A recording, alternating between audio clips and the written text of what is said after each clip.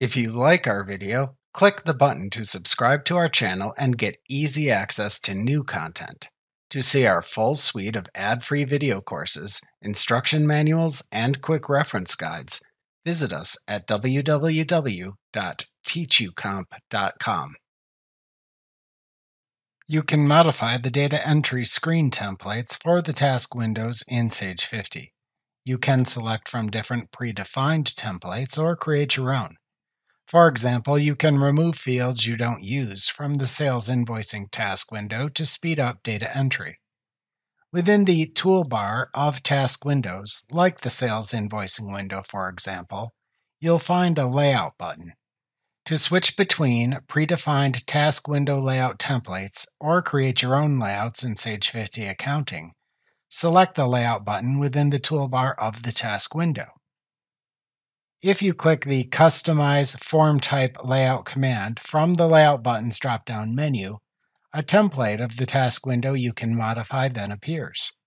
To make a new template, click the New button in the toolbar at the top of the template window to create a new template.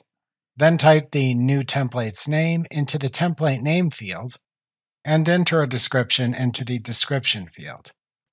Then check or uncheck the checkboxes for the fields that appear to include or remove them from appearing within both the entry screen and the printed form versions of the selected task window template.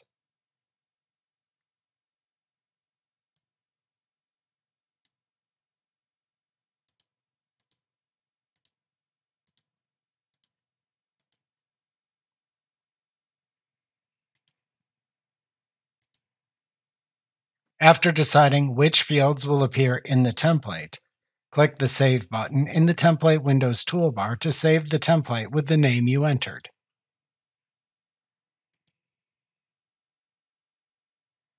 To use the template window for data entry later, select it from the Layout Buttons drop-down menu the next time you open the task window. Remember to click the subscribe button to see more of our videos.